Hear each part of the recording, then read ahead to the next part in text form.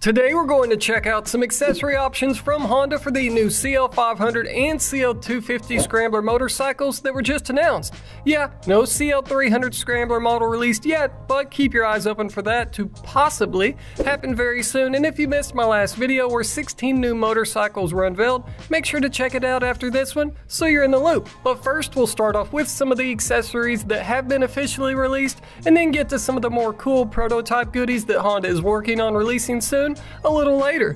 First up for the new CL Scrambler motorcycles from Honda are your storage options, as let's face it, you have no real storage on this bike to start with, but that shouldn't be much of a surprise as most don't these days. Which leads us to your first option, a trunk from Honda that has 38 liters of capacity. Thankfully, Honda tries to dress these up a little bit, instead of it just being a big plastic box slapped on the back of your bike, with them throwing an aluminum panel on the top, and you can key these to your bike's ignition key, so you're not fumbling around with a bunch of keys every time you want to find out. What's in box. And you've also got the option of throwing a backrest pad on there too, so your passenger is a little more comfy. Plus you've also got an optional inner bag for the trunk to keep things from sliding around too much, and it has a shoulder strap to make toting it around a little easier too. But before you can mount a trunk or anything else in the back, you'll need Honda's luggage rack or rear carrier, as they call it, and that opens up the possibility of mounting other things back there. And that rear carrier is what your mounting bracket for the trunk bolts down to.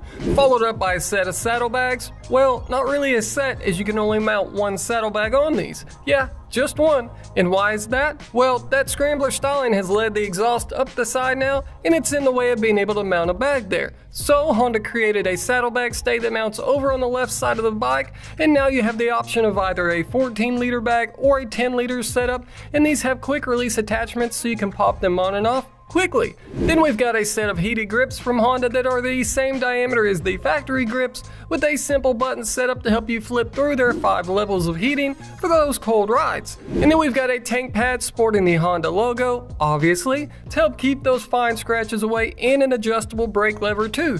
Now call me crazy, but it's 2023, adjustable brake and clutch lever should be a standard feature these days instead of an accessory, but what do you guys think? Now let's get into some of the prototypes Honda CL500 and CL250 accessories that haven't been officially released yet.